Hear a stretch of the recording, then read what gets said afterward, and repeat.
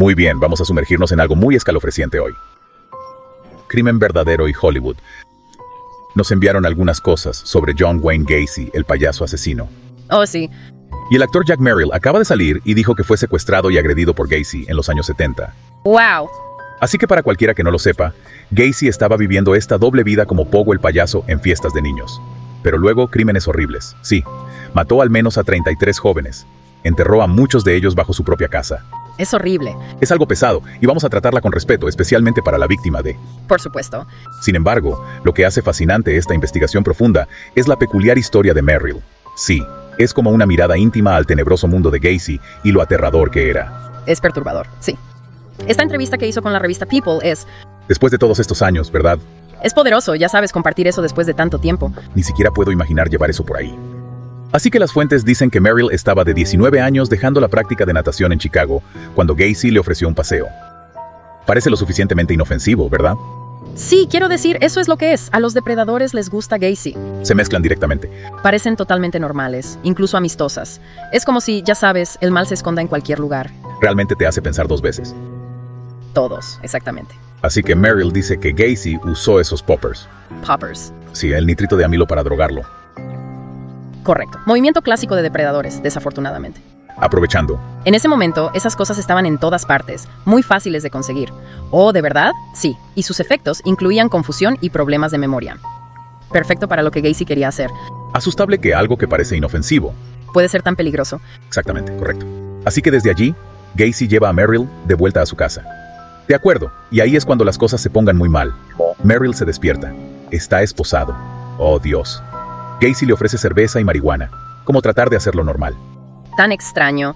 Correcto, es extraño. Después, Gacy vuelve a poner las esposas y arrastra a Merrill por el suelo con una cosa casera hecha de cuerdas y poleas. Incluso le dijo a Merrill que si se lucha lo ahogaría. Oh, hombre, eso es similar a un libro de texto sobre Gacy y su modus operandi. ¿Su qué? Modus operandi, su estilo, no era solo sobre matar, era sobre control, poder sobre sus víctimas. Rompiéndolos. Sí, mental y físicamente. Y ese control se nota en la historia de Merrill. Él se resistió una vez y el dispositivo empezó a ahogarlo. Dijo que sabía que si se luchaba, Gacy lo mataría. Tanto miedo. Totalmente. Claro. Pero la situación empeora. Merrill cuenta que Gacy le puso un arma en la boca. No. Antes de agredirlo sexualmente, usaron la palabra violación, lo cual parece apropiado. Dios, eso es increíblemente mal planeado, ya sabes, es solo para la gravedad máxima. Es difícil incluso entender. Y luego Gacy lleva a Merrill de vuelta, lo deja y le da su número de teléfono. ¿Qué? De ninguna manera. Como si estuviera tratando de actuar normal después de todo eso. Ni siquiera lo sé. ¿Fue como otra forma de controlarlo? ¿Recordarle quién estaba a cargo? ¿O estaba tratando de convencerse de que todo era normal? Es simplemente extraño. Sí. Y para hacer las cosas aún más locas más tarde, Merrill se entera de todos los cuerpos bajo la casa de Gacy. ¿Puedes siquiera empezar a imaginar al hombre que te hizo esto siendo un asesino en serie? El profundo trauma que debe ser increíblemente devastador para pasar de creer que era un incidente aislado a darte cuenta de que eras uno de muchos. Y llega a la imagen más amplia, ¿verdad? Gacy mató al menos a 33 personas. Sí. La mayoría de ellos jóvenes, muchos enterrados bajo su casa. Solo te muestra que cualquiera puede esconder algo oscuro. Gacy era carismática, activa en su comunidad, ¿verdad? Incluso estaba involucrado en política. Hay una foto de él con Rosalind Carter. De ninguna manera. Sí, loco, ¿verdad? Un asesino en serie que se estrecha la mano a la primera dama te elija cómo puede engañar a la gente. Se movió en todo tipo de círculos, completamente desdetectado y aterrorizado. Y no olvides que era un artista infantil. Pogo el payaso. Es como otra capa de traición. Sí, usando algo inocente y divertido para lastimar a la gente. No es de extrañar que la gente le tenga miedo a los payasos. Absolutamente. Es como la última perversión de la alegría y... Te hace preguntar cómo te saliste con la suya durante tanto tiempo. ¿Qué le hizo seguir haciendo estas cosas horribles? Es una pregunta que surge en tantos casos de delitos verdaderos. Señales perdidas, señales de advertencia que parecen obvias después, pero nadie se dio cuenta en ese momento. Como si necesitáramos confiar más en nuestro intestino. Presta atención a esas banderas rojas, incluso las pequeñas. Exactamente. Pero también te hace pensar qué falló en el sistema que le permitió seguir avanzando. ¿Hubo oportunidades de detenerlo que se perdieron? ¿Había algo que estaba aprovechando que pudiéramos haber evitado? Es un buen punto. Estos casos no son solo sobre una persona mala. Nos muestran problemas más grandes en la sociedad, prejuicios, puntos ciegos, cosas que necesitamos arreglar. Se trata de averiguar por qué estas cosas suceden para que podamos, ya sabes, intentar evitar que vuelvan a suceder, proteger a la gente. es cosas pesadas, pero tienes razón.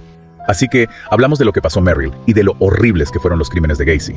Pero ¿qué podemos quitar como oyentes de todo esto? Creo que la historia de Merrill es sobre más que Gacy ser cruel, es sobre cómo el trauma afecta a la gente y qué valiente fue para, ya sabes, sobrevivir y luego compartir su historia después de tanto tiempo. Es inspirador y nos recuerda que tenemos conocimiento de esas banderas rojas. Como dijiste, el mal se esconde a la vista. Lo es, y mencionaste esas fallas sistémicas. Una fuente habló de cómo Gacy tenía conexiones políticas. Hay incluso una foto de él con Rosalind Carter. ¿Cómo puede alguien que haga esas cosas horribles estar saliendo con, ya sabes, gente importante? Es escalofreciendo. Muestra lo bien que fingió ser normal.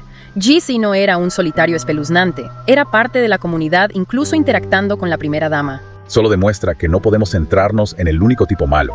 Sí, tenemos que mirar todo el sistema, las cosas que le permiten operar así sin que nadie lo sepa. Cierto, y eso incluye cómo reaccionamos cuando alguien denuncia abuso o agresión. ¿Hacemos que sea seguro que se vayan adelante? ¿Hay formas de proteger a las personas vulnerables? Preguntas importantes.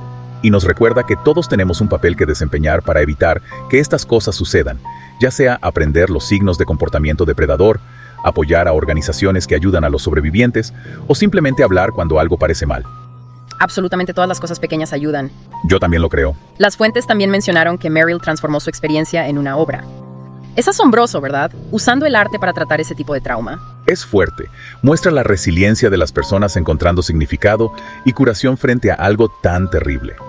Lo es y muestra lo importante que es compartir esas historias. Cuando los sobrevivientes hablan, ayuda a romper el estigma alrededor del abuso y la agresión. Le permite a otros saber que está bien presentarse y pedir ayuda. Y ese es un mensaje tan crítico. Sí. Pero también me hace preguntarme, ¿sabes? ¿Qué dice de nosotros que alguien como Gacy podría existir? Que una persona pudiera ser tan cruel y calculador. Es complejo. Los filósofos y criminólogos han estado tratando de entenderlo por siempre. Quizás no haya una respuesta fácil, pero estudiando estos casos y comprendiendo las motivaciones de los autores, podemos acercarnos a un mundo con menos horrores. Espero que sí. Aunque estemos en esta oscuridad, es vital recordar que también hay luz. Hay esperanza en cómo los sobrevivientes se recuperan, cómo la gente habla y cómo todos trabajamos juntos para hacer un mundo más seguro y justo. Es una buena forma de expresarlo. Esta profunda buceo nos ha llevado a algunos lugares oscuros, pero también nos ha mostrado lo importante que es estar conscientes, preocuparse por los demás y actuar. Para aquellos que puedan estar lidiando con los efectos del trauma, no estás solo. Hay ayuda disponible, gente que se preocupa, y siempre hay esperanza de curación. Si quieres aprender más sobre John Wayne Gacy, hay documentales, libros, artículos, mucha información, pero por ahora solo respira, retrocede de la oscuridad y recuerda que siempre hay luz, incluso cuando las cosas parecen muy malas. Volveremos la próxima vez con otro buceo profundo. Hasta entonces, mantenga curiosidad, mantenga informado y mantenga a salvo. Realmente te queda, ya sabes, Merrill convirtiendo esta cosa horrible en una obra. No puedo imaginar ser tan creativo después de pasar por algo así. Realmente habla de cómo el arte puede ser un bálsamo. Supongo que para algunos sobrevivientes, canalizar su experiencia en algo creativo como una obra o música les ayuda a procesar y avanzar. Adelante. Está encontrando una forma de entender todo. Correcto. Y nos recuerda que incluso en los tiempos más oscuros, la gente puede encontrar una forma de seguir avanzando e incluso encontrar algo bueno en él. Es bastante increíble. Por su parte, al compartir su historia en la entrevista y en la obra, Merrill no solo se está ayudando, puede estar prestando un gran servicio a otros que han pasado por algo similar. Verlo hablar tan valientemente podría dar a otros sobrevivientes el coraje de avanzar, obtener apoyo y darse cuenta de que no están solos. Es un mensaje poderoso, seguro. Así que cualquiera que escuche está lidiando con las consecuencias del trauma. Por favor, sepa que hay ayuda disponible. Hay gente que se preocupa y hay esperanza de curación. Absolutamente.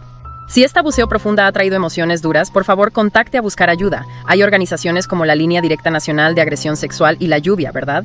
Incluiremos enlaces a esos recursos en las notas del programa. Ha sido una conversación pesada hoy, pero creo que es importante terminar con una nota esperanzosa. Al profundizar en estos casos y comprender las señales de advertencia, así como apoyar a los sobrevivientes, realmente podemos trabajar juntos hacia un mundo mucho más seguro. Estoy de acuerdo que es fácil quedarnos atrapados en la oscuridad, pero tenemos que recordar que hay luz en la resiliencia de los sobrevivientes, el coraje de aquellos que hablan, y nuestros esfuerzos colectivos para detener que estas tragedias vuelvan a ocurrir. Bien dicho, y para nuestros oyentes, si estás interesado en aprender más sobre John Wayne Gacy y este caso, hay documentales, libros y artículos ahí fuera. Pero por ahora respira. Aléjate de la pesada y recuerde que siempre hay esperanza, incluso en los tiempos más oscuros. Gracias por unirte a nosotros por este profundo buceo. Te veremos la próxima vez.